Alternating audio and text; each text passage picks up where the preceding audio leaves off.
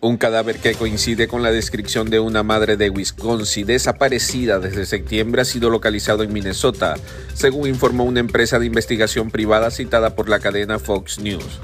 Ashley Miller Carson, de 33 años y madre de cuatro hijos, quien vivía en el condado de Burnett, en Wisconsin, fue vista por última vez el 23 de septiembre cerca de la comunidad del lago Lena. Este es un día triste que nuestra familia esperaba que no llegara y todavía hay muchas preguntas que necesitan respuestas. Pero lo importante es que ahora tenemos a Ashley, expresó Christina Struck, la madre de Miller Carlson, en un comunicado.